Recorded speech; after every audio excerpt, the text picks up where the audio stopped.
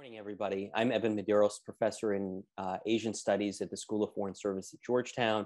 It's my pleasure to welcome you uh, to the third in a three-part series looking at people to people ties under the conditions of uh, a new normal of strategic competition in the US China relationship.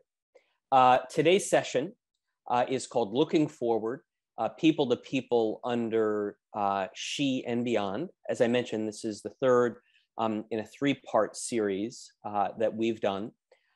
this is a joint effort between Asian, the Department of Asian Affairs at the School of Foreign Service and the um, US China Dialogue. I want to thank my uh, colleagues and partners, Tom Banchoff in the US China Dialogue, Michael Green um, in Asian Studies for sponsoring this particular initiative.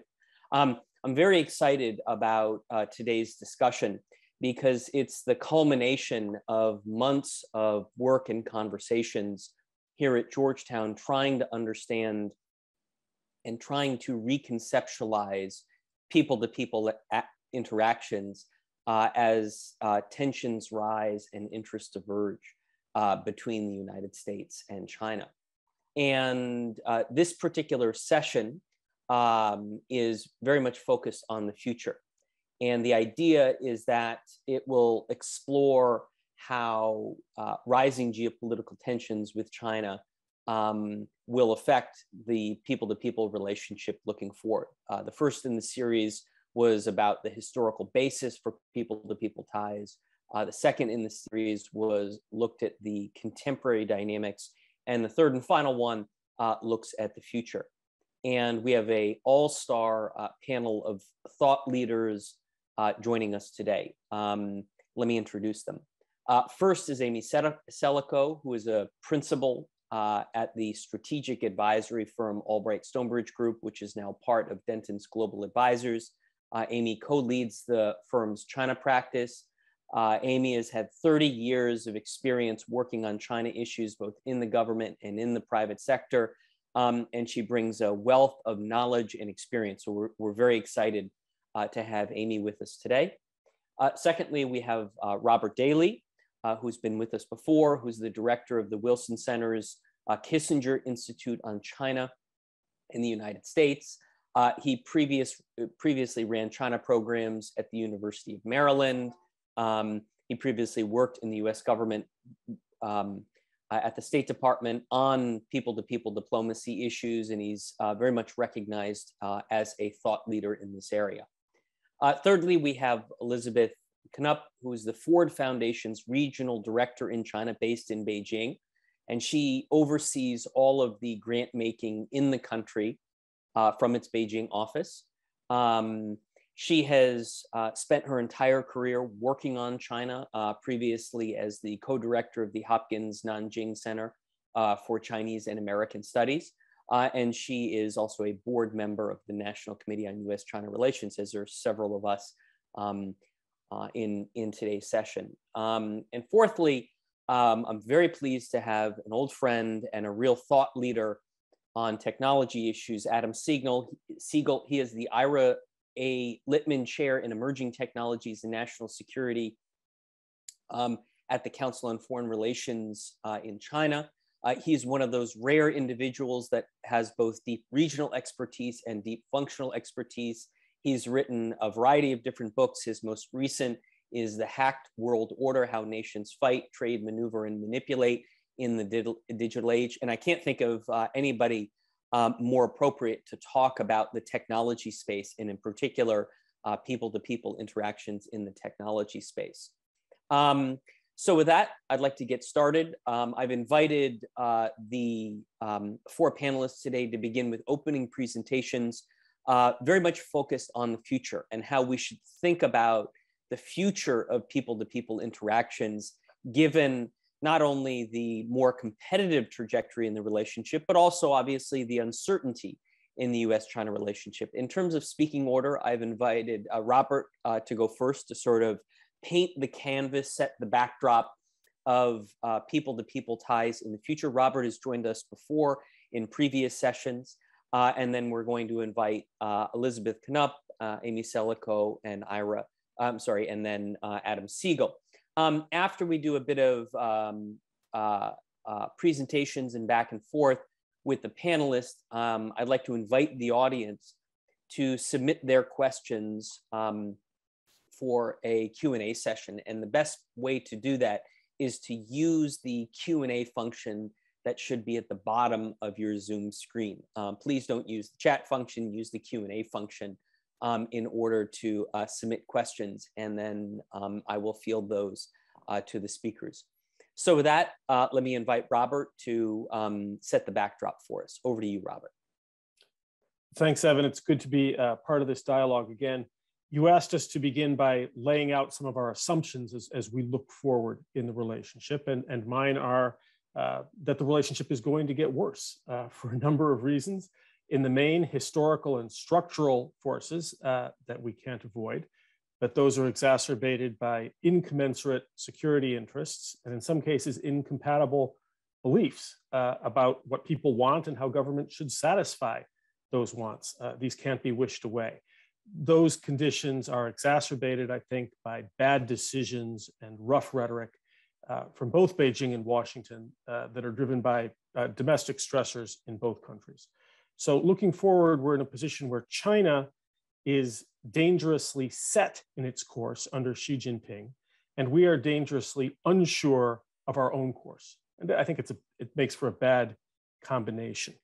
There will be a question uh, as we either uh, acclimate to COVID or when if COVID recedes, whatever the right approach is. I think there is a big question about China's genuine openness going forward, not just because of zero tolerance, but how much it's really uh, wants the full panoply of interactions with foreign countries, how much it's willing to open itself to that kind of influence. And that decision of China's about openness will have implications, obviously, for students, for tourists, to the flow of ideas, people to people generally. China is turning inward. Uh, the Chinese call it, you know, neijuan, sort of what involution or a turning inward. Uh, China is in many ways culturally, ideationally, uh, becoming more than ever the world's largest self-licking ice cream cone. It's almost entirely uh, self-reifying and self-justifying in these ways. There's a real so a real question about openness is one of the issues I see looking forward. Of course, my Chinese friends would immediately say, "Well, how about you?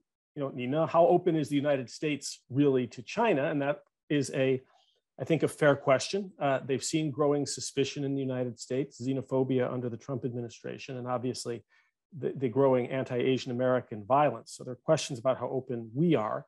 I think we are uh, the less guilty party. There's a lot of evidence that we're more open than ever. And I spoke about this in the first session to foreign cultural influences. We're now watching subtitled films in, uh, from Korea or made by Chinese Americans. There's an interest in popular culture that isn't in the English language. Uh, but we're not very open to Chinese cultural influence if it's clearly politically motivated or has propaganda behind it, as it so often does. And China, I think we should note, is largely absent from the world cultural stage as part of its uh, turning inward. So US-China cultural relations and interactions, I think are gonna be characterized going forward by what the Chinese call gugan guda, each camp sort of doing its own thing for its own reasons with some interaction, but interaction isn't going to be, uh, isn't going to typify the relationship. And this good gugan guda, each doing what it can, the Chinese talk about with relation to lowering carbon emissions, for example. You can't lower carbon emission, emissions together. You can only do it separately. And I think culturally, we're going to see that kind of parallelism too. On the American side, there is uh, to date a failure of guidance for the institutions that are still interested in engaging or interacting with China. And I'm thinking here especially about universities and corporations who are still waiting uh, for a clear China policy that will tell them what is inbounds and what is out of bounds. And they need that because universities, corporations especially, but other institutions are long since deeply involved and implicated in US China relations. Universities and corporations hear veiled uh, suggestions that any interaction they have with China uh, may make them a useful idiot or even a traitor. We've got to give real guidelines so that we know what's licit and what isn't if people to people is going to go forward. Another implication looking ahead is over the course of the engagement period, many state and local governments, communities, institutions, universities under engagement, all developed their own China policies. That era is also gone. We're now at a stage where these institutions cannot have a separate China policy that is starkly out of lines with Washington. Uh, and that's why Washington has to give clearer guidelines. Another factor going forward, and this one I think is especially regretful, is an awful lot of the fruitful collaboration over the past four decades has been initiated and driven by Chinese Americans or American citizens of Chinese origin. And those uh, interactions, I think, are going to be far fewer, further between, because people are afraid that tri- uh, Chinese Americans, in particular, that making links between our two countries will land them in the sights of the China Initiative or will be seen as otherwise suspect. So I'm afraid that we're going to be losing a force for greater understanding between us. Uh, we see, I think this is minor, some Americans who are still interested in China, studying Chinese, turning to Taiwan and Chinese diaspora communities to get their China fix, uh, to get language training. We just saw very interestingly, uh, Taiwan send pangolins to the Prague Zoo after the mayor of Prague fell afoul of China. So Taiwan is trying to match panda diplomacy with pangolin diplomacy. But I think that's going to be limited in scope. Also going forward, people to people, I think we have to acknowledge that the chances of a catastrophic collapse in US-China relations, while I think still not great, are non-trivial and increasing. And so the risk of launching a new venture that could get caught uh, in a collapse of relations has gone up. But I, am not a collapsist. I think it will probably be uh, a muddle. One last thought about the broad framework. Uh, the age of people-to-people relations in US, US, in US-China relations is over due to the nearly complete triumph of politics in both China and the United States. This is what has happened. The opening to China was in effect a decision by both governments to limit the scope of politics in US-China relations and to give freer rein to the full range of human interests and interactions, to give rein to the, the cultural, the economic, the artistic, the scientific, uh, the educational, uh, the romantic, the entertaining and the humorous, um, the, uh, the individualistic, even the religious. That was the motive force, as I said in the first session, of the era of engagement, sort of a natural interplay of peoples, not entirely devoid of politics, but with politics largely taken out. But under Xi Jinping, we've seen a return uh, to the Maoist and Marxist belief that politics must dominate nearly all aspects of human life. And obviously, we're seeing a hyper politicization uh, of American life as well that affects public health and education and science, politics uh, in both countries. And I think this is quite destructive. The driver of this hyper politicization in both countries is fear, much of which is rational. Not all fear is irrational. We have real security concerns and it will be with us for a while. So I'm afraid that the era of engagement and people to people uh, is over, and that people to people engagements, while they'll happen idiosyncratic basis here and there, it's not going to be a complete closing of the door.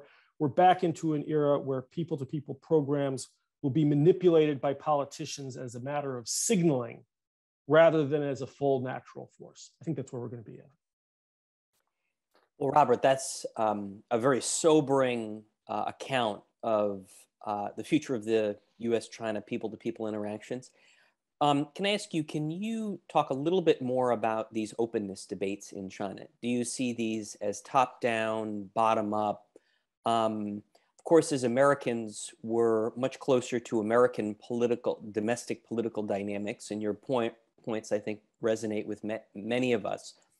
But perhaps for the audience, you can lay out a little bit more the domestic political dynamics in China, right? And we all know that the government does one thing, but you know the the people in China, given the size and the dispersion in China, you, you know, often are capable of doing their own. So, sort of, can you texturize the landscape uh, in China a little bit more?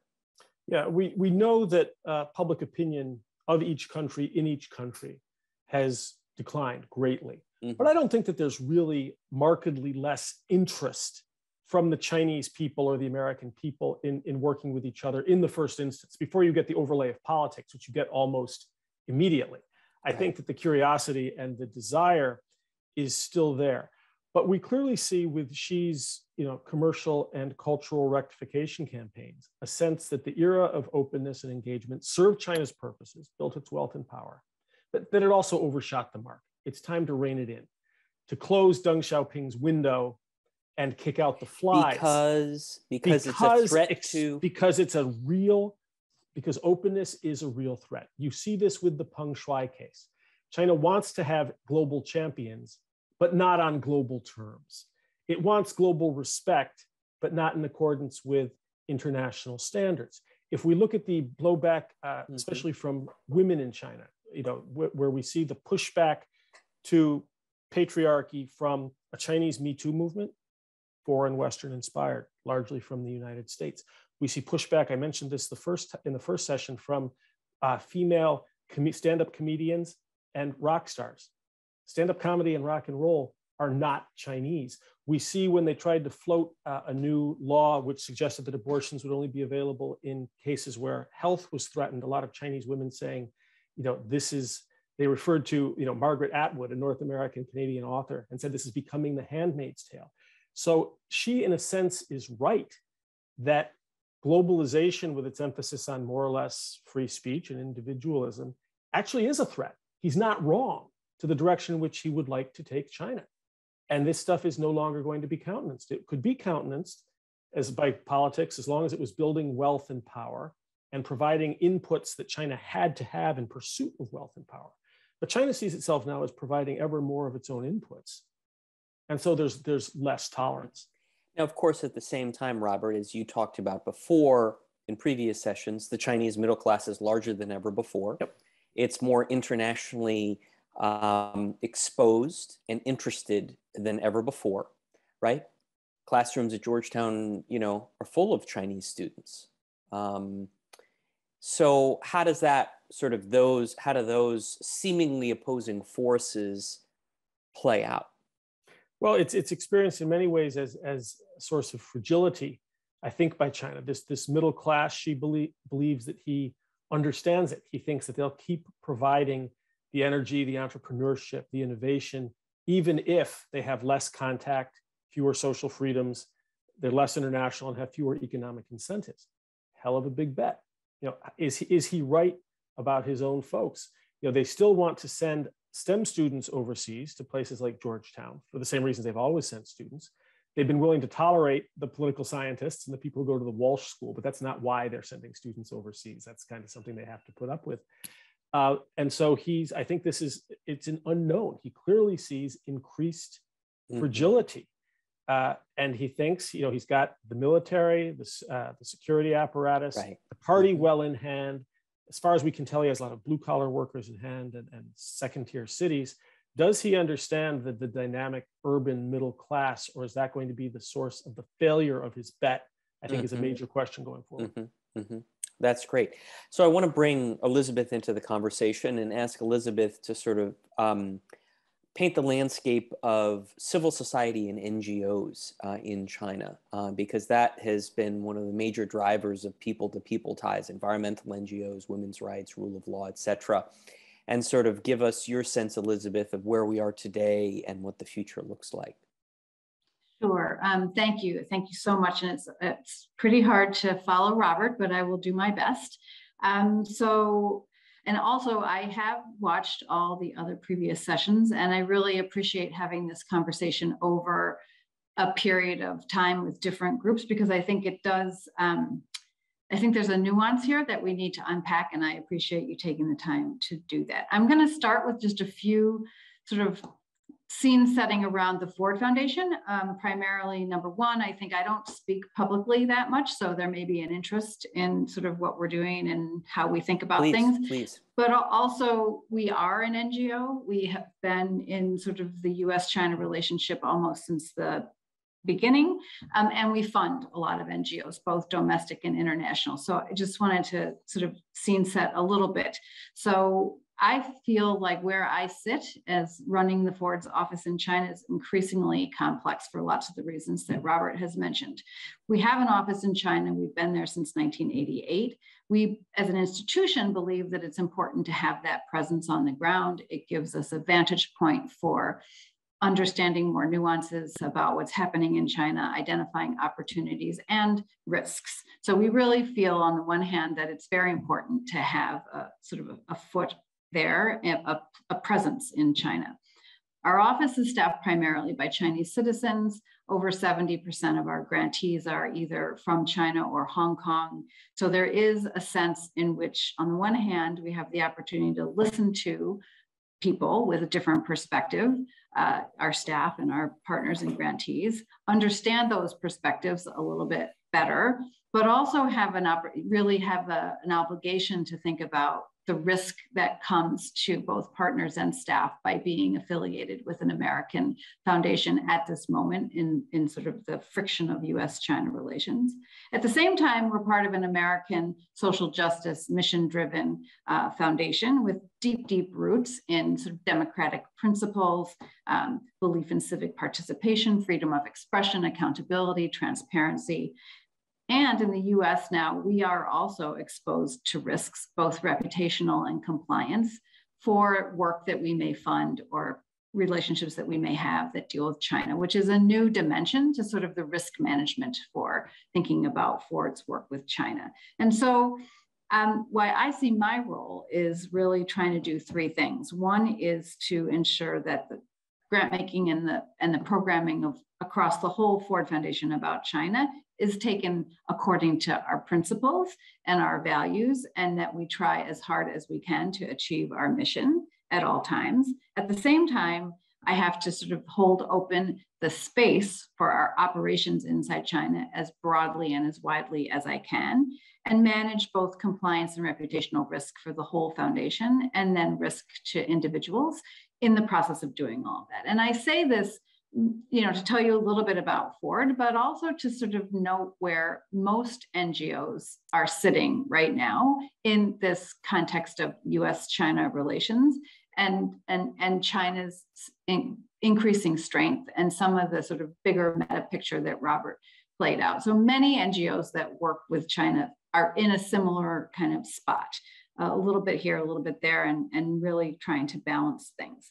So uh, a couple thoughts about the future, but first I want to take a quick dip into the past, but a quick one because I think others have, have talked about this. You know, I think we all know, I mean, at least I think there's a growing consensus that the reform and opening period um, was a particular moment in time. China needed and was looking for resources coming from the outside to aid in China's own domestic development. And I think that I personally think that that period is distinctly over. I just referenced Carl Minzner's um, comments on this in session number two that people should really go back and listen to. I think he did a really, uh, had a very excellent analysis that this, this period has really come to an end. Um, and I think that it's, I think increasingly over the last couple of years, it's become increasingly clear that China has, certainly the Chinese authorities, maybe not everybody in China, but the authorities really believe that they no longer need and certainly don't wish to rely on resources coming from the outside for their own domestic development needs and aspirations. And during the period of opening and reform, certainly foreign NGOs funded by foreign funding and people to people exchanges really played a central role in bringing in the resources that were needed. And I think that the evidence, the impact of this can't be understated, and the evidence of it is quite positive throughout Chinese society. And I won't spend time listing all of that, but there, there, there are ways in which that period really did bring a lot of benefits to China, and not just wealth and power. I, I think it was more than that. Um, you know, there are now hundreds of thousands of NGOs in China and legal system. There's a lot more than simply wealth and power, but that was a big part of it. Um, but I don't think the future is going to look like the past. And I do think we're at the five year anniversary of the foreign NGO law coming into play. And there's been a lot of reflection, and I still sense a lot of people um, wish for a return to the golden era of when foreign NGOs had a, a, wide field to play in China and were very active in doing all the things that I just mentioned. But I don't think that we're going back to that place. And I think part of that is because the power dynamic between China and the United States has shifted. A lot of what Robert was just talking about, right? China is more developed it's better governed, it's delivering broad well being for most of the citizens in its own terms, right? This is China deciding what's the well being, and the citizens of China sort of you know, being well governed and they feel like they're well governed. I think there's very high rates of satisfaction um, among Chinese people with how its government performs. And I think this rests on a foundation that um, was built with um, engagement through people people exchanges and other ways with the outside world. It was built on that foundation, but going forward, this is really going to be China developing on China's own terms and determined by themselves.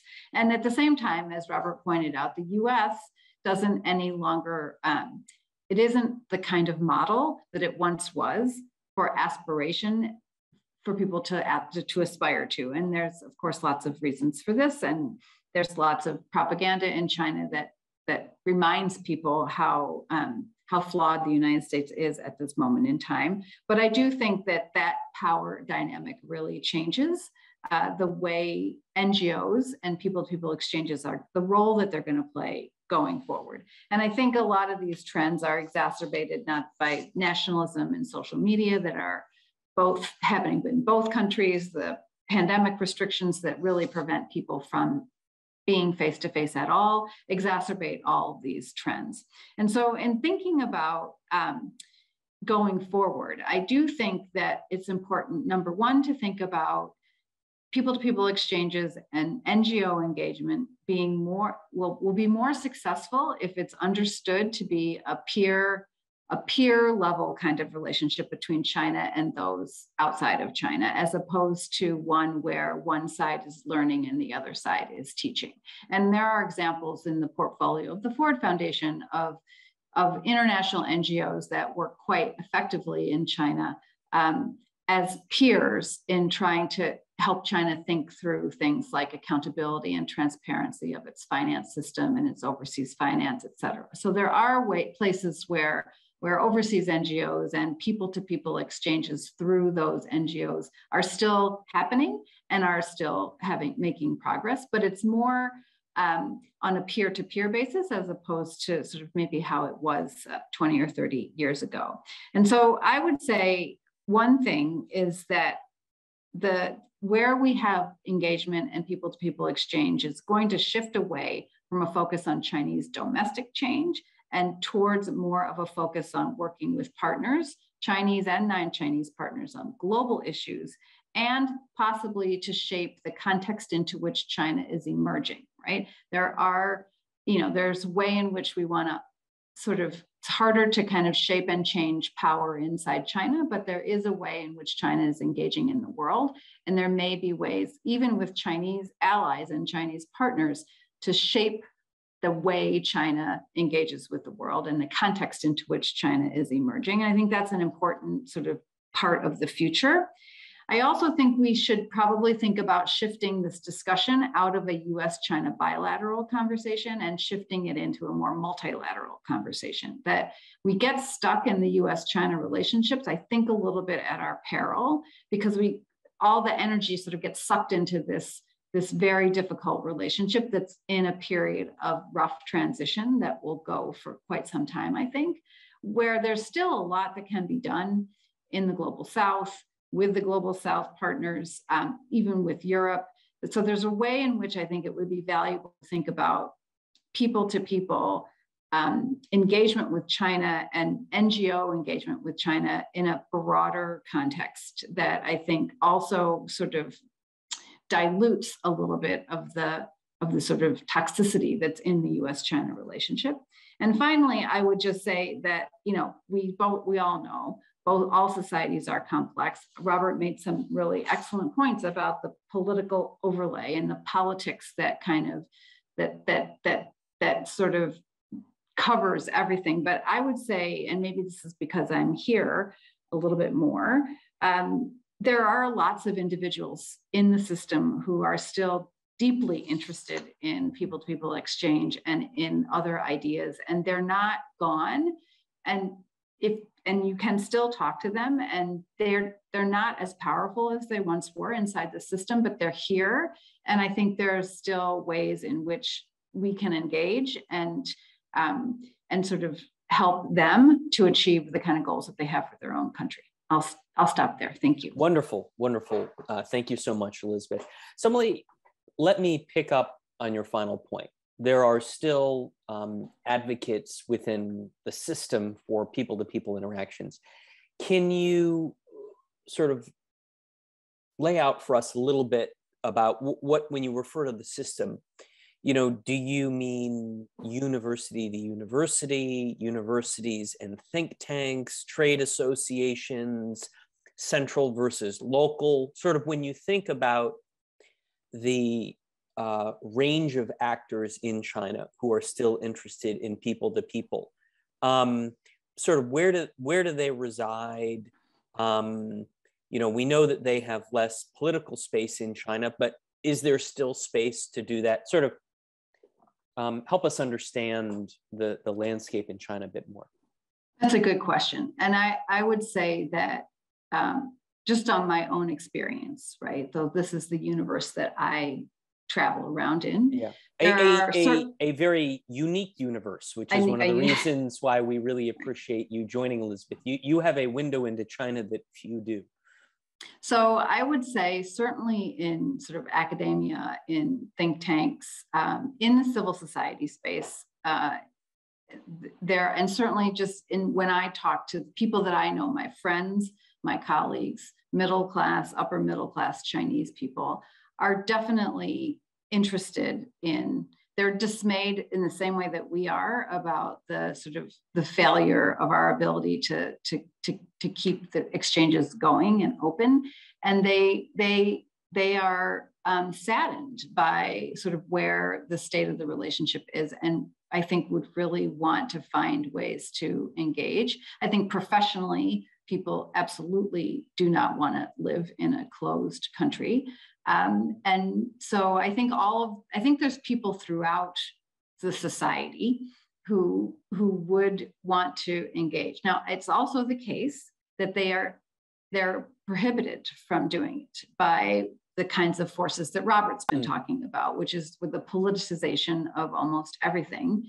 So there might well be many, many people in universities and think tanks who would very eagerly want to sort of travel or have people to people exchange, but their passports are held by their university. They are restricted on how many Zoom meetings they can be in. So there are broader restrictions around the desire. So I think that that's the real, a really big challenge in this particular time is how do we break through those restrictions to be engaged with that set of people um, on terms that are not dictated by the politics. And I think that that that is the really a big challenge that we have. And and Elizabeth, in the future, should we assume that U.S. NGOs basically are more or less prohibited from operating within China? You know, some notable exceptions like the Ford Foundation, but what is the American NGO who has partners, or I should say, constituents in China who want that that interaction? Yeah, I mean, I think that's another really good question. You know, I think there's now between five and 600 NGOs that are registered in China, most of them trade associations, and that's from all around the whole world. All so, around the world. How about Ameri- Americans of those? I actually should have looked know. up that number. I don't know. I can look it up. When, I mean, um, roughly speaking, is it 100 or 300? Do you have a sense? It's probably, it's probably a 100 to 120 or something okay. like that. But I, okay. I will look that up and put it in the chat when I'm not speaking. Um, and so, and my my sense is that number is not going to go up very much for the right. ones who are. But is it going to go registered? I don't five? think it's going to go. Well, you know, I don't mm-hmm. think so. But I that's a good question. I, I, don't think it has really gone down in the last five years, but it's also, to my knowledge, not really going up. Like maybe one or two and, every once in who, a while. Who would those be? Um, you know, who, who would those who, American NGOs that are registered in China? Who? So the world, um, so us, the Gates mm-hmm. Foundation, the Asia Foundation, um, National Geographic Society, mm-hmm. uh, you know, groups that all the big environmental NGOs, WRI, um, mm-hmm. ED, Environmental Defense Fund, the Paulson Institute, you know, there's a there's quite a you know there's okay. a somewhat of a broad array, but but the point is that they're not, first of all, it really is um, a big administrative burden to be registered here. So small NGOs that used to pop over one or two people, they can't even, even if they could register, the compliance burden is incredibly high. And that's perhaps intentional, right? So I think that um, the other question is the temporary activity permit system, which does allow groups like the National Committee and others who are not registered in China to actively come and carry out projects in mm-hmm. China. That's other another very high administrative burden, but it's not impossible.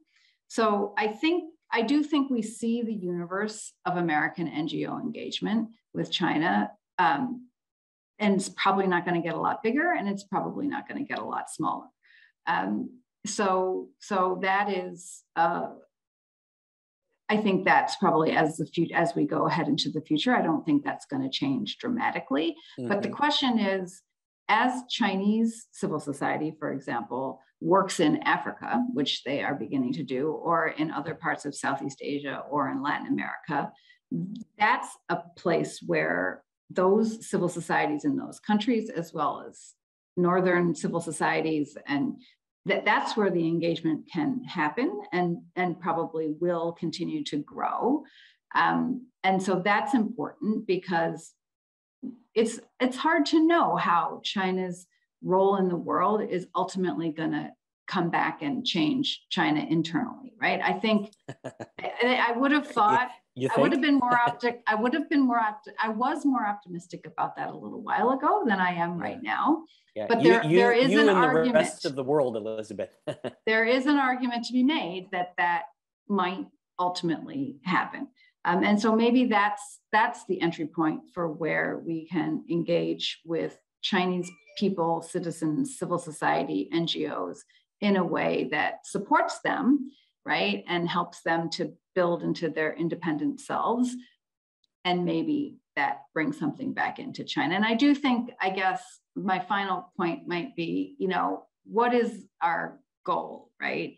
Our goal at one point might have been contributing to China's domestic development um, and changing Chinese society. And I think at this point, that agenda is probably not very open to us. It's up to Chinese people to change their own society.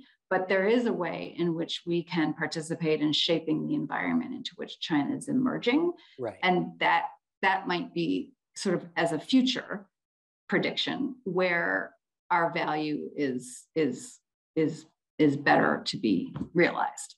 Mm-hmm, mm-hmm. That's a very important point. That's a really, really nice insight. So, with that, I want to invite Amy into the conversation to talk a bit about people to people ties in the business world. And the reason why that's so important, and Amy's the perfect person to talk about this, is because when we think about the economic relationship, of course, it's a massive relationship, right? A $650 billion trade relationship. Uh, similarly, multi multiple billion dollars a year a year in investment, two way investment. Um, so the, that's part of the story. But of course, the other part of the story is this sort of, you know, decoupling slash mm-hmm. deintegration agenda. Both sides sort of, you know, um, becoming increasingly concerned about exposure to the others. You know, I just read in the FT this morning that the Chinese may, you know, invalidate the principal legal, legal structure that has allowed Chinese companies to list on US capital markets, New York uh, Stock Exchange and NASDAQ, right? So pressures for deintegration of our two economies. Um, so the question is, how does, you know, what do people to people ties in the business space look like? Because, I mean, you know, in the most basic way, uh, you know, when you have a economic relationship that's this large, people are going to meet and do business, right? But there's a lot of suspicion and pressures, um, as Robert and Elizabeth very, um, you know, articulately laid out. So, how do you, you know, see the future, Amy? You look at, you know, you deal with CEOs in multiple different sectors. You've seen this evolve over time in the U.S. government and in your current role. How should we think about people to people in the business sector? Well, thanks, Evan, for inviting me to be uh, part of this dialogue. I'm honored to be here with you, with Elizabeth, Robert, and Adam. Just wish we were doing this in person, uh, hopefully next time. Um, as we discussed a little bit even prior to this session, I have been struggling with tone on approaching the questions that uh, you're asking about the trajectory of commercial interactions uh, and people to people exchange in the business world. Uh, like you've been hearing from Elizabeth and Robert yourself, also Evan, I'm increasingly pessimistic about the prospects for the administration here in Washington, as well as policymakers in Beijing to take concrete steps to actually facilitate increased trade and investment flows between our two countries.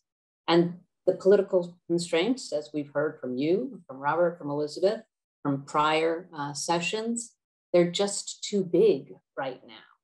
It's too hard. And so, like you just said, Evan, um, both countries are leaning into this economic disentanglement of the relationship.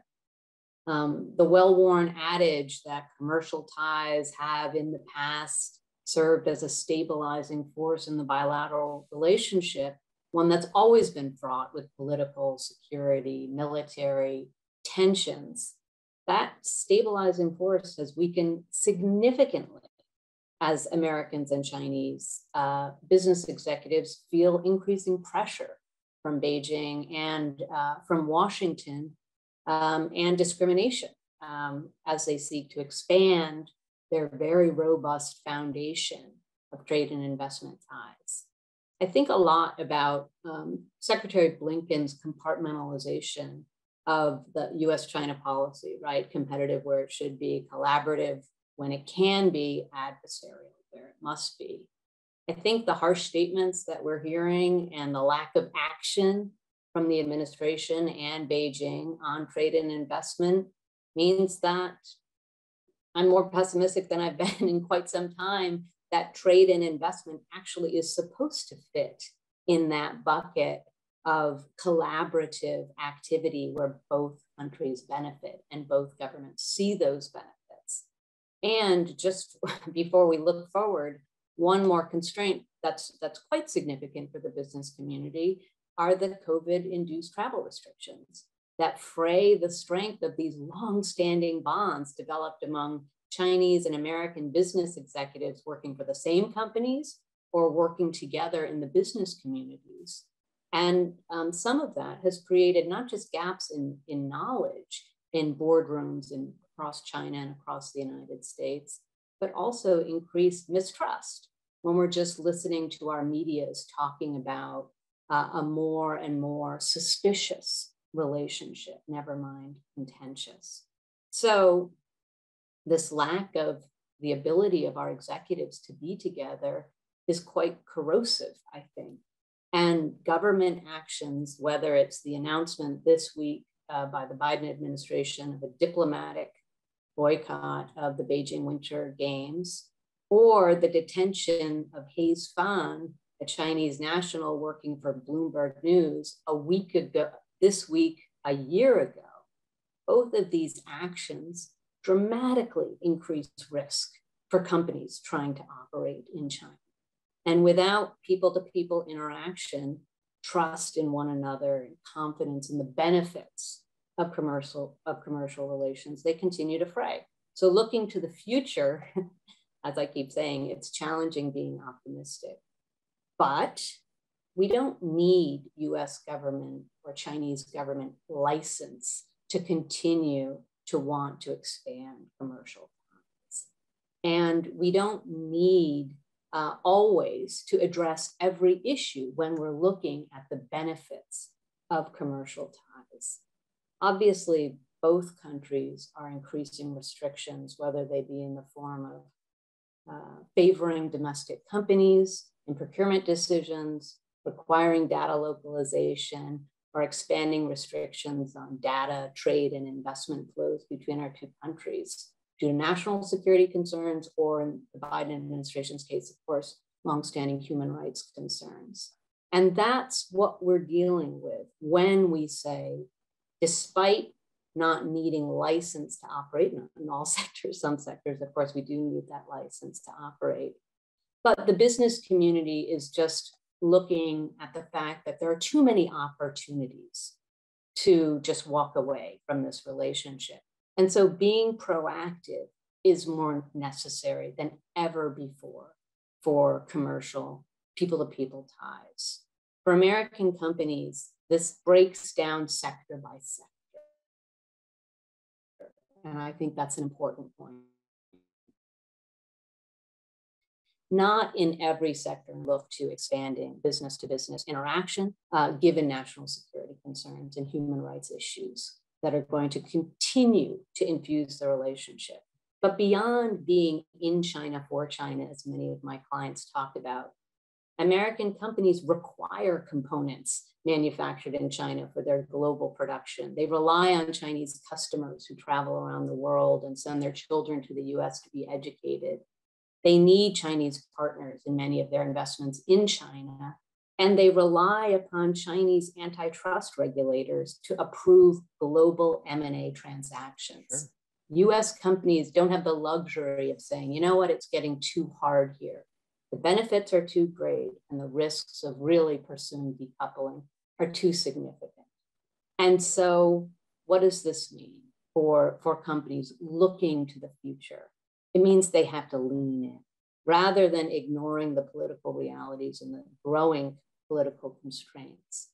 Um, they're feeling the pressures from both governments to comply with and adhere to the letter and spirit of Chinese American laws and policies. And they feel this more hostile environment for their companies, whether it's American companies in China or Chinese companies in the United States. But this requires the business community to speak up more individually to lobby the US government, obviously Beijing as well, uh, to talk about the interests to China and the United States of this economic relationship. It also requires some self reflection in boardrooms across China and the United States for companies to understand there have to be limits to the ability to continue to interact in some areas of US China relations because we know that this trajectory of the relationship is not going to change. Just a final point um, that I'd like to make is looking at how the Chinese government is thinking about retaliation against American policy considerations. It's been very interesting for us to listen to the Chinese government, one, rhetorically continue to support increased trade and investment ties with the United States, but not really taking action, really dragging its feet in, uh, in talking to the United States and others. This isn't, uh, as Elizabeth said, a bilateral uh, issue. Uh, the economic coercion and the lack of continued opening of the China market for, for foreign commercial interests. But also the Chinese government with the, the creation of an unreliable entities list, and, uh, and the promulgation of the anti-foreign sanctions law continues to threaten the business community with retaliation when political actors make decisions in Washington or other capitals. And we've seen that retaliation. But have they used happen. those yet, Amy? They haven't. And so again, I think this is mm-hmm. where the Chinese government, and we've seen we saw this at the end of the, the, the Trump administration as well as this past year, Evan, where the Chinese government continues to threaten that. And the business community has been quite, um, quite focused on whether and how the Chinese government does use them when they're displeased with, with uh, policy decisions. And so obviously the business community, it's easier in Washington than in Beijing. But I do think that the business community is trying to lay a very clear marker uh, in Beijing that yes, it wants to be uh, part of China's continued economic development and it brings a lot to the equation. But if the Chinese government does start to target commercial interests in retaliation for the Biden administration's policies on X, Y, or Z, that is going to force a rethinking. And that's where my pessimism returns. uh, because I completely agree with Carl Minzner's um, assessment that things are going to get tougher in China. And if the Chinese government can't uh, decouple itself, these ideas of a political action outside of China requires a response that more often than not impacts commercial interests. That is going to lead the business community, these boardrooms, to make decisions about uh, leaving the China market in ways that they have not to date. To date, we continue, all of the statistics show that the business community wants to remain in China, needs to do more in order to justify continuing to grow in China, both in Beijing and in Washington. But if the Chinese government starts uh, to use the business community in a way that harms their economic interest, it will force a change in, in that behavior. And that, coming back to people to people exchange, will have a dramatically uh, adverse impact on the ability of our two countries to see some of the best elements of one another. If Chinese and American executives aren't working together in the same companies, whether it's in China or outside China, and if our companies aren't investing in one another's markets, I think these trends that we talk about with an increasingly difficult bilateral relationship will increase exponentially. Mm-hmm. Thank you, Amy. Also, a very sobering picture.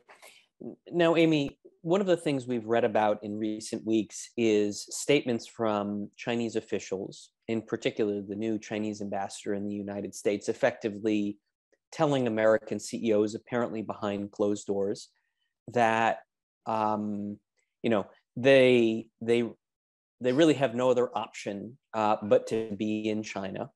And if they want to stay in China, they have to start defending China to US officials. Um, how do you look at uh, that? Um, sort of what, what, what's going on there? And is it forcing American CEOs uh, to make some very, very difficult choices?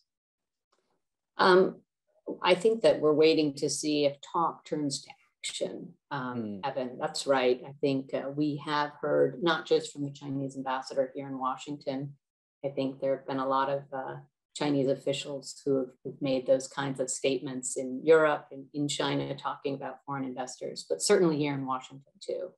And I think that those of us who attended the US China Business Council dinner last week heard also from the US government official uh, there that there, there could be consequences for American companies that don't more fully understand um, some of the adverse impact of their operations in China. And so I, I feel like companies are, are, are, are getting squeezed by, at both ends. Mm. And what mm-hmm. companies don't want to do is walk away from uh, their global interests. It is a global interest for them, for many companies, to continue to grow in China because profits in China, innovation in China helps uh, the global uh, corporation or nonprofit or industry association continue to grow. But those threats, if they turn to action, will force a change without a doubt. Mm-hmm. Um, we just and you think business leaders will be, are prepared to make those kinds of changes, which could be very costly for them.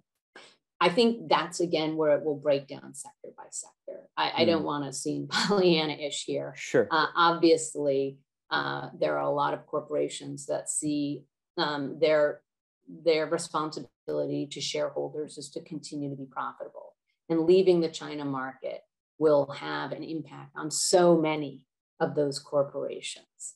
But what they're not willing to do is just bend to political pressure in Beijing to, to do things that are obviously against the interests of the corporation, the values of the corporation, and will not help them with global growth. And a lot of conversations are happening right now about that, about the impact of corporate behavior in China on the global mm. consumer's mm. perception of the corporation or of their global business. And so companies need to, in a very sector specific way, look at whether and how their opportunities. I feel like uh, they are they're feeling that pressure here in Washington and from Beijing more and more acutely to make a choice, and they're not going to do that. And so they, mm-hmm. they just have to navigate this situation. Mm-hmm, mm-hmm. Great. Um, Adam, you've been very patient, uh, but we're uh, anxious to bring you into the conversation because in the technology space is uh, probably one of the newest, most important, and also most competitive dimensions of the US China relationship. It involves business to business ties, obviously. Uh, the US government has a big role. And then, of course, uh, you know, university to university, uh, you know, interactions. Um, so, in many ways, the tech space is this very, very fertile ground for understanding people to people interactions. Because you talk to scientists, and scientists just want to talk with other scientists. Um, and so there is a sort of organic impulse to collaborate with the best scientists. Uh, but of course, there are questions of, you know, IP theft and, you know, all that sort of, um, you know, nefarious behavior. Uh, there national security risks, you know, sharing um, information and insights uh, that could be applied to military development. Uh, so, sort of, how do you think about people to people in the tech space, given, I mean, probably the most complicated, you know, set of, um, you know, incentives between American and Chinese actors? Uh, yeah, thanks very much, Evan. And I, um, uh, I'm going to try to be at because I'm never at, at, these things slightly more optimistic on the science and technology side.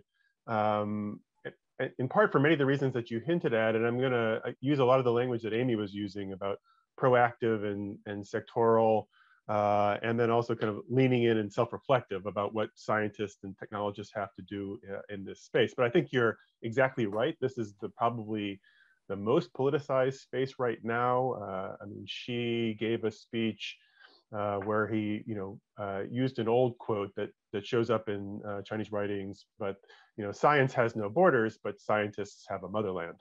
Um, so I, I, think really putting his finger. When, on, when did he do that, Adam? When did he? Uh, several months ago, but it's a okay. quote that so recently. Up, recently, yes, it's a quote that comes up quite frequently when when uh, Chinese policymakers are talking about you know the need for self-reliance uh, uh, and indigenous innovation.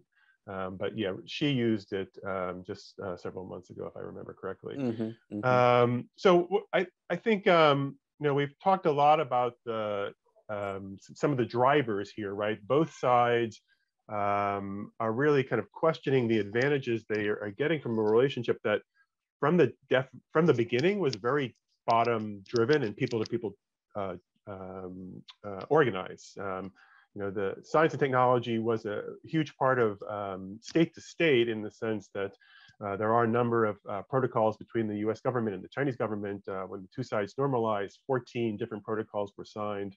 Uh, on science and technology. But um, it is you really in the early 80s. In the early 80s, yes. So yeah. 19, 1980. Um, and then each administration, as they've you know uh, done bilaterals with China, has, often had um, a uh, bilateral science and technology agreement on specific technology sectors. But by design, uh, particularly on the US side, it's always been bottom up, right? The US doesn't have a science agency. Uh, we basically have broad goals, different uh, um, departments then pursue relationships, and then universities and companies uh, really fill in all, all of that space. Uh, mm-hmm. And, and, what we're seeing on both sides is a, a, centralization of that, right? A kind of regaining of the relationship, a recontrol of the relationship.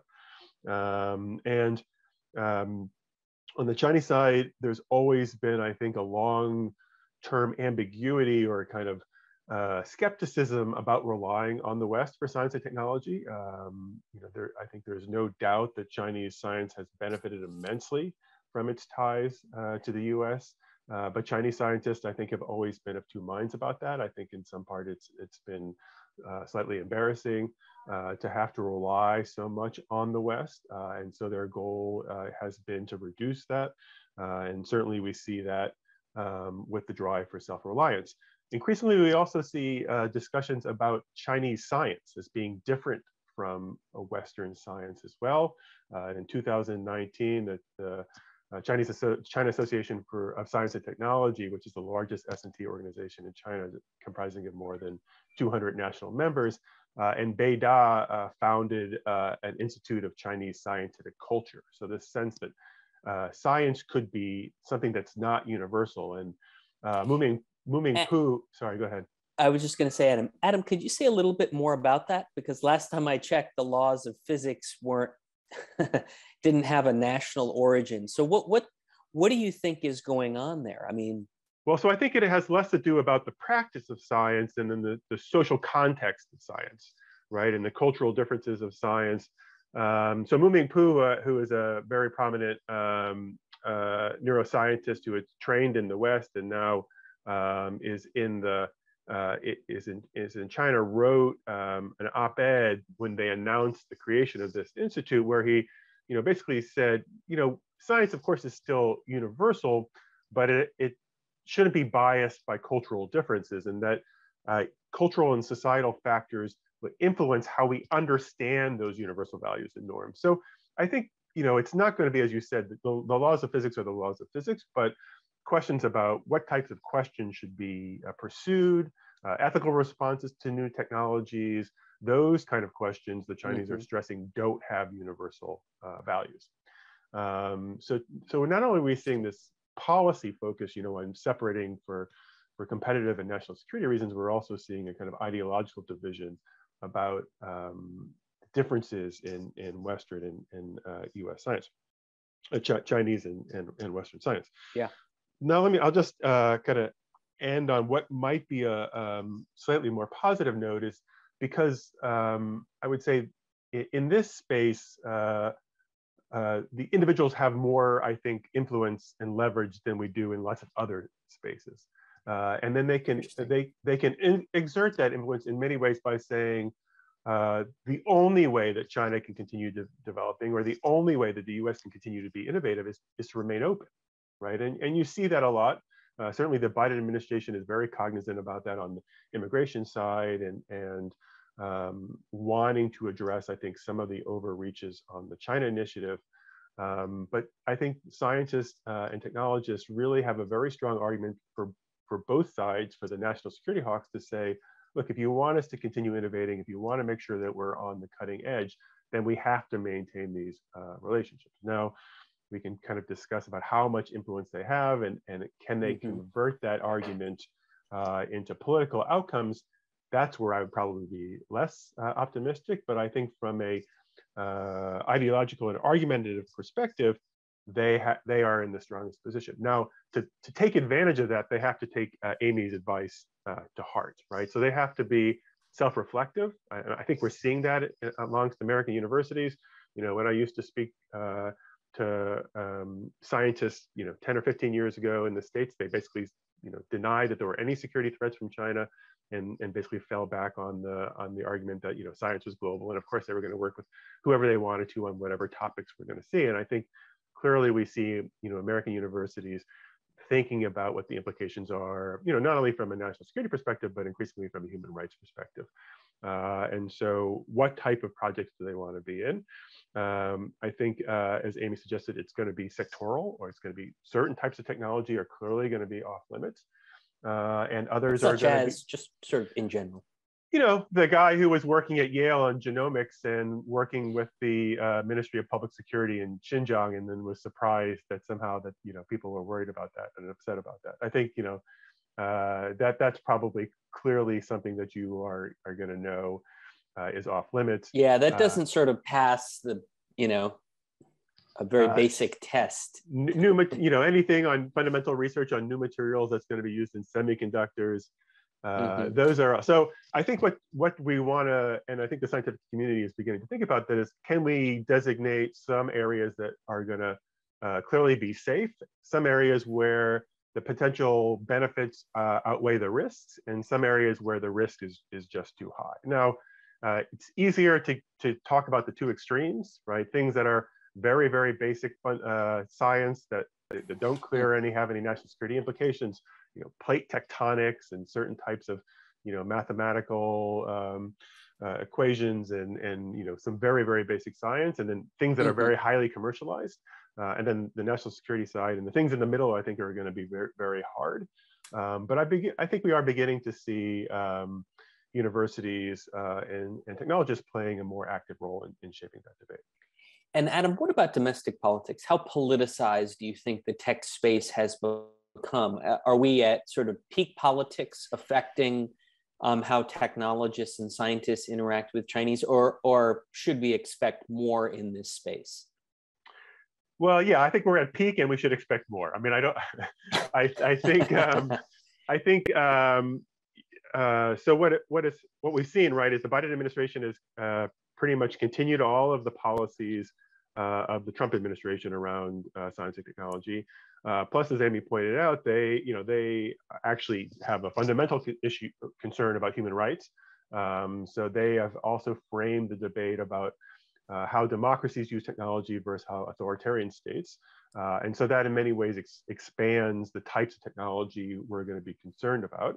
And then on the Chinese side, you know, we we don't see any signs that the the the, dr the drumbeat over self-reliance uh, in indigenous innovation is uh, changing, plus all of the issues that you know the the previous two um, uh, uh meetings talked about about the closing in, the uh, academic uh, closing in the Chinese side. All those things I think are reinforcing. So. I don't think it can get much worse because so many topics are already highly politicized, but I don't think it's getting better anytime soon. But is last question for you, Adam? Is it your view that there will always be a sort of baseline level of interaction among scientists and technologists in the private sector between Americans and Chinese? Yes, uh, I think both sides fundamentally recognize that uh, they still have uh, uh interests that are uh, can only be achieved through globalized science and technology. Um, and the question is, where do you draw that line? Um, and that that is really the hard political process. Um, that you know it's hard to do, even if it isn't. You even aren't operating in a highly politicized domestic environment, but is made even harder when you're worried about your left or right flanks uh, and being seen as uh, soft on China. And would you say that that process of drawing the line will be a very dynamic process that will change from administration to administration or do you think in the s&t space we'll sort of settle on like yeah this is basically the line you know above it can't do it below it can continue how should we think about the, that line process I, I, actually I hope it will be dynamic because given you know that the, the the outer edge of scientific discovery will be constantly changing, um, and the technologies we are interested in will also be changing. Um, so I would want the, I, I, would hope that we have, you know, broad guidelines, as you said, that we set, and then the, the kind of uh, spotlight will perhaps shift uh, to certain technologies as we see them develop. Now that that's a really high demand for government to do. Um, you know, we know the government isn't really very good at identifying uh, critical technologies. We, you know, we tried it in the 80s with the Japanese, we tried it with the Soviets. Um, you know, uh, the Department of Commerce, you know, now has seven or eight advisory committees around um, export controls and emerging technologies but it is still a very hard. Seven or eight, really?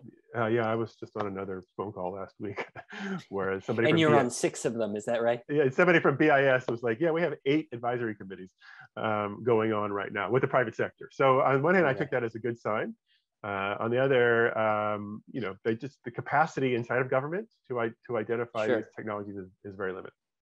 Well, that's a perfect segue. We've got a, a ton of different questions that have been coming in um, from watchers um, on YouTube and at Georgetown.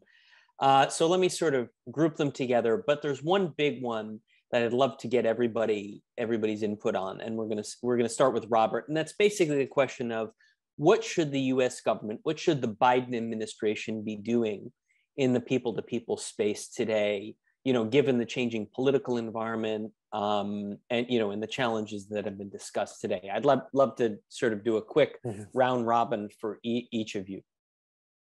So I would like to see the Biden administration, preferably the president himself, make a very clear statement about how welcome Chinese students and scholars and other Chinese are in the United States, uh, acknowledging the tremendous contribution they've made to all aspects of American well-being over the past 40 years. I think that that would be extremely helpful. Number mm-hmm. two is they need to give clear signals to universities uh, and corporations about the, the go and the no-go re regions, or given that it's a dynamic situation, what the guiding principles are that don't appear to simply criminalize any form of activity. That's two. Number three is traditional public diplomacy.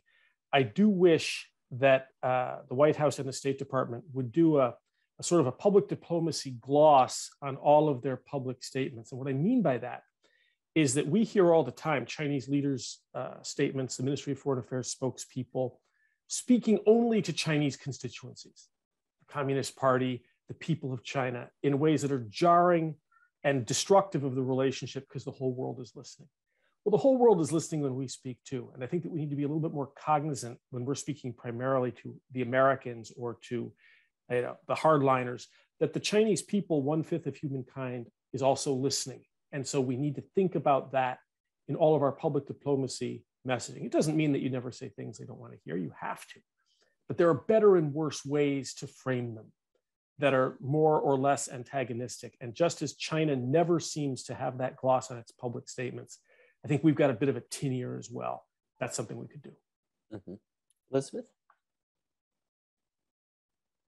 So those were all excellent ideas. I would add something a bit more concrete. I think that I was hoping that the Biden administration early on would reinstate the Fulbright program between China, mm. United States, and Hong Kong. Sure. That I felt to me like low hanging fruit, but it hasn't happened. Um, and I think that would be a really important uh, signal. And also, you know, if we don't, we can't have that level of exchange at a student and a scholar level, then I, I do think we're really in a very difficult spot. So that's my recommendation. Mm-hmm. Great. Amy? I would like to see the Biden administration proactively talk about re engaging with Chinese counterparts on the trade relationship. Uh, and I think that that has really been absent from a lot of the broader discussions about ways that we can deal with this increasingly competitive and contentious relationship. And then my second, in addition to that high level discussion, and I should say, I really applaud all the Biden administration has done in talking about China with our partners and allies. I think that's been incredibly useful as we then want to go back and talk to the Chinese government about the economic relationship and not be unilaterally talking about things that are much bigger than the US China relationship. And so I think we've really made progress over the last 10 months doing that. But I, I now I want to see the Biden administration uh, approach China and start to have discussions. And as a, as a former um, participant in this dialogue, I think the Joint Commission on Commerce and Trade, the JCCT, mm. which incorporated the business community and was focused really and truly on ironing out specific differences in the economic and commercial relationship and problems in the in the relationship would be incredibly effective to reinstate. Not the big dialogue about where's the direction what more can china do what more can china give but hey we have this uh, commitment from china R- remind us amy States. when, when was jcct canceled and why was it canceled uh, the Trump administration canceled the JCCT around the time that they canceled the Strategic and Economic Dialogue. Mm-hmm. Um, they had been more or less folded together, right, right. Um, but then they were not. Neither, uh, of course, was reinstated. And in, I think, fair criticism to talk shops happening and dialogues between the United States and China getting too big to be to, to result in concrete progress on issues the JCCT had pretty humble beginnings. It wasn't at the vice premier level. It initially was uh, MOFTEC to the Department of Commerce, and then it was elevated uh, to the vice premier level on the on the Chinese side, and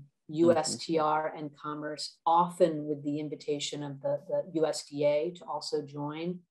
And again, it had very active industry uh, working groups that fed into the issues that would be discussed between the two governments to try to resolve very specific commercial issues. And I think we could use that kind of progress right now on small but um, specific and significant issues to the business community.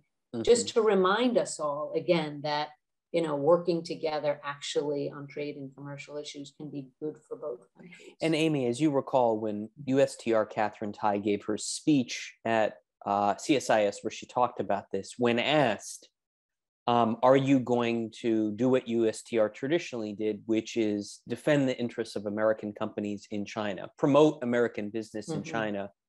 Her basic response was, I'm not sure. Yeah. And we've continued to hear that message. And what is that? So, what does that right. mean? The US government doesn't want American businesses to, to expand operations in China? Sort of mm. what, what's going on here? What's your view? Yeah, it's the heart of my concern, Evan, is that trade facilitation, investment promotion isn't actually in the remit of, of the commercial agencies in the US government. Instead, it's about how can we deal with the problems in the economic and trade relationship, which are many and which are important. And so limit areas of interaction between our economies for, again, legitimate national security, human rights based concerns. That is important work, but it cannot and should not be completely divorced from the trade promotion, investment promotion activities that USTR and Commerce used to commit to, but now don't feel, I think at USTR in particular, is part of their mission. And mm-hmm. that's coming from top down. And I right. think I would suggest above Katherine Tai's pay grade as well. Right, right. Adam, what, what should the US government do in, in, in the tech space? Uh, so uh, I, I, would build partly on, on Robert's about the sta- uh, statement on, on the contribution of Chinese students and scientists. I, I, think probably it's time for the Biden administration to announce some type of pause uh, of the China initiative, um, if not a mm-hmm. kind of canceling it. I, I, think most of the evidence that's come out suggests that it's overreached um, and is pursuing mostly irregu- irregularities of kind of um, reporting as opposed to actual espionage. Um, so I think that that would be uh, extremely helpful uh, and useful. So you advocate a pause in the China initiative? Yeah, I think certainly some kind of um, uh, internal focus uh, and evaluation about if it's actually achieving the goals that it, it, it says it's achieving or wants to achieve. Um, and then, you know, a lot of the things are primarily outside of the Biden administration's hands right now, but, you know, actually passing the America Competes Act, uh, which you know has funding for for basic S&T uh, as well as the CHIP initiative, right? Fifty billion dollars for for U.S. semiconductors, um, immigration reform, uh, lots of things that are you know easy right. to say and, and, and hard to do. Right, right. That's great. Um, so we've got a bunch of specific questions. I've got one that I think is probably best for Elizabeth. One of our uh, listeners asked what the prospects are for American and Chinese environmental protection, climate change NGOs to cooperate with one another? Uh, so I think that's one of the, so it's interesting. So the earliest, um, the earliest section of Chinese civil society to emerge were really environmental protection NGOs. And so they are among the more mature, more robust of the Chinese civil society sector. Um, and of course, there's many, many very significant American and European uh, NGOs in China now, environmental NGOs in China, and they do work together. So they already are working together um, inside China. Uh, to the extent that Chinese NGOs go abroad themselves, so into Africa, into Southeast Asia, there are engagements. A lot of those are also led by the environmental sector it just happened because they were the firstborn and because they're the more, most mature, they have the most capacity to work outside of China. So that's happening. So that's another important opportunity. And to the extent that the US and China can either uh, go gan go or each do their own when it comes to the sort of climate change goals, I do think that there will, I really hope that there will be some place where the two sides can actually work collaboratively. And I do think civil society can play a role there to kind of bridge bridge that gap. And I hope that that would happen. So I think it's I think it's an optimistic space. Mm-hmm. And Amy, is there in the climate change, environmental protection space, how much of a role for the business community is there? I mean, we we One hears a lot of discussion about you know collaboration on clean energy. I mean, I remember in the Obama years in 2009, we s- set up the Clean Energy Research Center. But for American businesses, is that I mean, is that a growth opportunity in China? Be, I think, Evan, if um, we're allowed to collaborate in those areas. As you know, it, it, gets tricky very quickly when we start to talk about specific areas of, mm. of cooperation. Um, in that, I will say it makes us better competitors because um, our companies and Chinese companies are focused on these issues. So I think that obviously the business community is supportive of the administration seeing that area as one of the cooperative uh, parts of, of the relationship. And we need to see a little bit more meat on the bones there. And the business community could, could be part of that. And I think even if it's talking and not doing, that would be positive. And, mm-hmm. and I think, as we all know, the space for the business community to have really constructive interactions with the Chinese government is really has shrunk a lot. That's why mm-hmm. I'm appealing to the return of the JCCT left to our own devices, it can be very difficult to have good and substantive discussions uh, with the Chinese government. And so having the US government bless uh, a dialogue and bring some stakeholders together, I think would be very useful. If for no other reason than we need to start exercising that muscle again. Mm-hmm. Mm-hmm. I've got a question that I think is probably best for Adam, but maybe Robert, which is how do you reconcile government oversight with maintaining research creativity? A bit of a theoretical question, but how, how should we think about navigating these two impulses, Adam?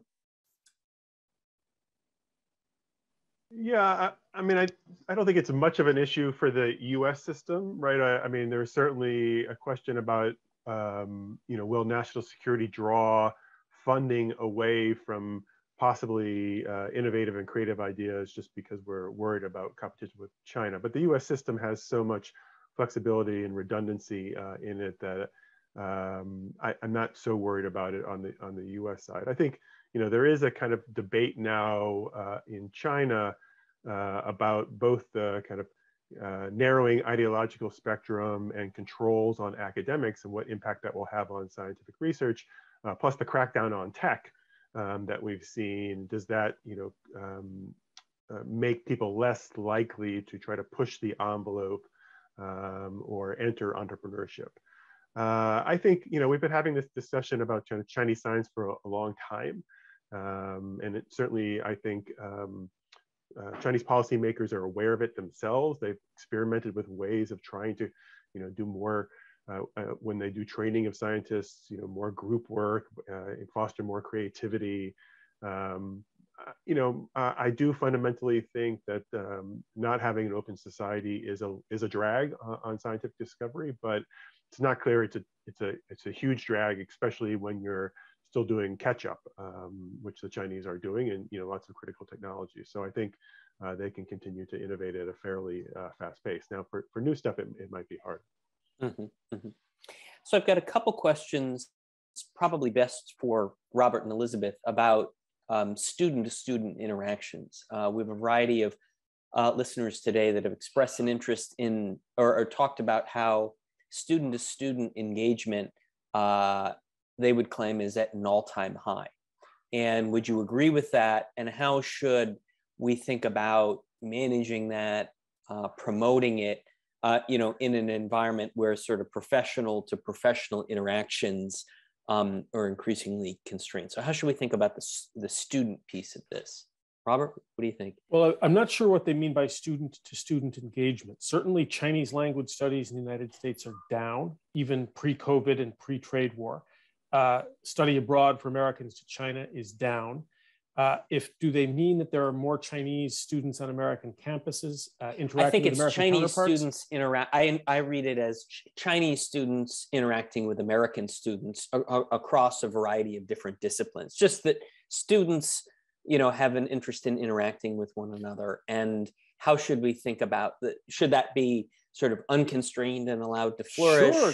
You know, of course. I mean, there it's just have at it. There's there, there's nothing to be you know that we should be constrained about. I think the growing concern again pre the Trump administration was that with the large influx of fairly wealthy uh, Chinese undergraduates in American universities, that they were tending to uh, hang out with other Chinese and not encounter the United States mm. in a mm. transformative mm-hmm. way because you could live in a, a, a, pod of you know Mandarin socializing and and you know food whatever it was there was a concern that they actually weren't interacting much with American counterparts so I don't think here this is this one's easy uh, just don't self-segregate the more involvement the better uh, but the conditions for that involvement should be those of the free exchange of ideas and not a Chinese domestic sense that sensitive topics should be avoided. That I think is impermissible on an American campus. Right, right. Taking Taiwan, Xinjiang, Hong Kong off the table as a precondition for student exchanges about politics and international relations is probably not a good way to start the conversation. Is that right. is that what you mean? Yes, exactly. Yeah, great. Well, we've got um, we only have about three minutes left, and we've got a bunch of different questions that are sort of COVID related. So let me sort of do a, a final round robin. Uh, and the, the questions basically boil down to how has how do you think COVID has affected people to people interactions? Um, and I would I would sort of I would inject my own sort of bias into this question, which is let's just sort of stipulate that COVID has led to a lower baseline in interactions. I mean, that's just an obvious point, right? Nobody travels back and forth because the you know the burdens of quarantine are so substantial. So what what does the future hold with the assumption that eventually we will return to some degree of normalcy? W- will it be a a future of just a lower baseline? Will it what, what sort of what what does the future hold as we sort of gradually move beyond the, the COVID world? Um, and let me just to give Robert a break. Let me go in reverse order and ask Adam for his thoughts. How, how has sort of COVID affected, you know, the S&T space and, and how should we think about it going forward? Yeah, I, I think it has reset the base. I think as moving forward, um, we could we can expect less uh, interaction. Um, I, I, I, do think that is going to be the, the, the new normal. Um, I, think uh, a lot of it um, uh, you know, there may be creative workarounds. It, it may not be as bilateral, uh, but there uh, may be more reliance on, on multilateral uh, meetings and uh, discussions, since you, that gets you, as I think also Amy had mentioned, kind of get you out of thinking everything is China-U.S. Um, and you can kind of try to engage it um, with other partners and more more multi-stake, multilateral kind of discussions. Yeah, that's, I mean, it's a great insight. And um, I'm glad that both you and Elizabeth have raised that. Now, Adam, on, I mean, technology also has played an important role during COVID of maintaining connectivity, right? Like, you, uh, you know, I spend a lot of mornings and evenings talking with a variety of international scholars, not just Chinese. So, yes, there'll be a new baseline, but that new baseline uh, may have new dimensions. Would you agree with that? How, how is sort of technology played a role in uh, the connectivity uh, between Americans and Chinese. Yeah, I mean, you've caught me in a week where I'm quite sick of Zoom meetings. So, okay. um, but I. Think Well, we're glad you did ours. I think you're I, you're fundamentally right. Um, you know, uh, clearly uh, it allows for interactions that you you couldn't have done uh, before. Um, allows you to bring in people from different parts of the globe that you know you you before you would have to spend to have fly them over, which would be much more expensive. Um, so yes, all of that I think is a positive. All of that I think will will um, once I am actually balancing it with real world things, I'll be more pro uh, and more positive uh, than I am about it right now. fair point. Fair point. Amy. I'll just say that even prior to COVID, what's been a little concerning to me is the business community foreign business community in China starting to, to leave uh, the China market because the Chinese government isn't um, giving the same incentives uh, for, uh, for business executives to get tax rebates to educate their kids in China. It's becoming more expensive to be there. And that is unfortunate.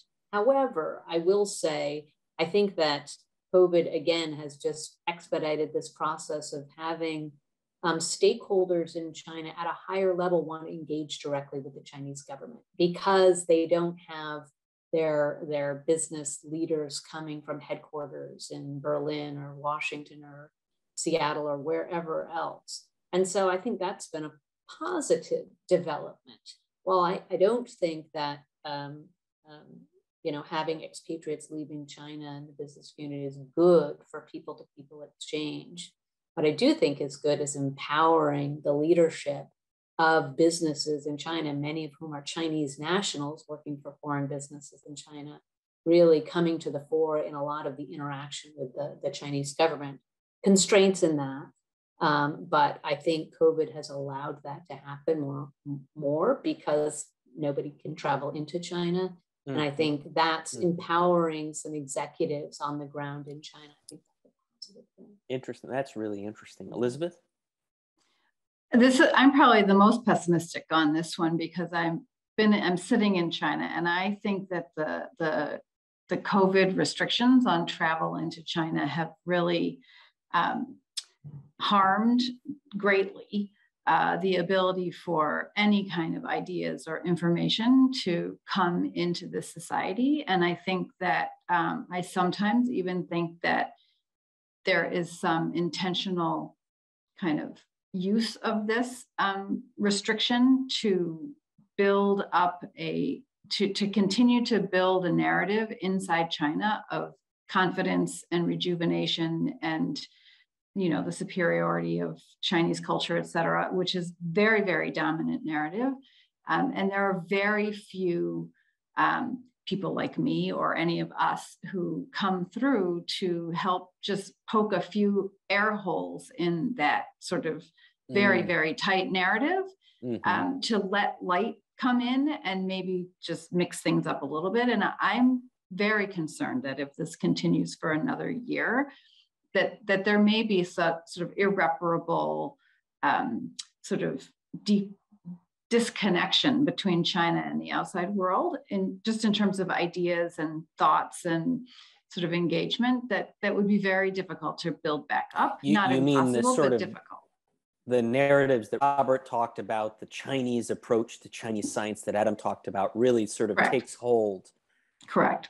Uh-huh. Correct. I was in a meeting this week where they were talking about sort of, um, you know, Chinese impact investing with Chinese characteristics, right? This is again, it's a technical thing that they're trying to root deeply somewhere in Chinese history and culture. And I, and I don't think that's necessarily a bad thing, but I do think that there needs to be, you know, a marketplace of ideas. There needs to be some discourse and and it's just very very limited and the the, the border closure just makes it that much more difficult. And you can have a lot of Zoom calls between people like us with our counterparts in China, but that doesn't get down into sure. social media and sort of the way normal average people are thinking about themselves and thinking about particularly the United States, but the outside world in, in general. Mm-hmm. Mm-hmm. So I, I'm concerned uh, about yeah. it as yeah. a long-term negative. Yep. Robert, last word. Chinese are very proud of how they've handled COVID. What are the lessons learned from that? Authoritarianism works, closing out from the rest of the world works. The East is rising, the West is declining. They're doubling down on all of that, which does not bode well for people to people. COVID also has uh, strengthened the spine of American hardliners on China and those negative views of China, partially fed by COVID, are going to be on display in the 2022 and especially the 2024 elections. And that too speaks badly for the future of people to people. Amy Celico, Robert Daly, Elizabeth Knup, Adam Segal, thank you so much for spending 90 minutes with us. Uh, this has been a very insightful, very sobering conversation, but ap- an absolutely essential one. And this is a topic that we're going to stick with because we're committed as both, uh, you know, at the Department of Asian Studies at the School of Foreign Service, but also the U.S.-China dialogue. Uh, so we hope to come back to you at some future point. But thank you so much, and thanks to all of the members of the Georgetown community that uh, watch with us today, and those of you watching on YouTube. Um, again, I'm Evan Medeiros. Uh, it's a real pleasure to ho- host this dialogue, and wish everybody a great day. Thank you.